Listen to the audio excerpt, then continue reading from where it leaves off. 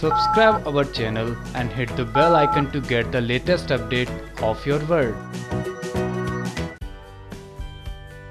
दोस्तों, कुमकुम भाग्य की बात कर रहे हैं प्रज्ञा ऋषि को बेकसूर साबित करने के लिए कुछ भी करेगी, क्योंकि अब प्रज्ञा के ने ऋषि का साथ तो दे दिया है। अब प्रज्ञा कहती है कि ऋषि कभी ऐसा कर ही नहीं सकता। प्रियंका तो ऋषि से बेनतहा प्यार करती थी। वो नाटक कर रही है मरने का। अब जब अभी के सामने ये सच आएगा तो फिर क्या कदम उठाएगा? अभी देखना काफ़ी दिलचस्प होगा। वैसे देखा जाए तो सीरियल के अंदर दिशा को आलिया कहती है कि मेरे और मेरे पति के बीच में आने की कोशिश की तो मुझसे बुरा कोई नहीं होगा। वहीं दिशा के पास जब पूरब आएगा तो फिर वो कहेगी कि मुझे तुम्हारी ज़रूरत नहीं है।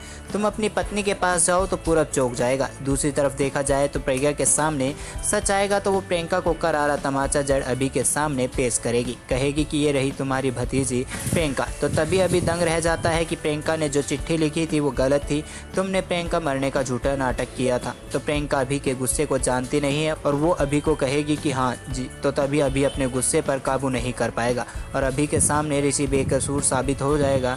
अभी प्रज्ञा एक हो जाएँगे, अब जब रिया और प्राची के सामने ये सच आएगा तो फिर क्या कहानी पूरी रूपरेखा बदलती हुई नज़र आएगी? तो दोस्तों, कहानी के अंदर जो भी अपडेट्स होगी, उसकी रिपोर्ट को लेकर आप सभी फैंस के बीच एक बार फिर हाजिर होंगे हम। तब तक के लिए बने रहिए हमारे साथ। और साथ ही साथ सब्सक्राइब कर लीजिए हमारा channel twenty four seven, online news news room की report. Subscribe our channel and hit the bell icon to get the latest update of your world.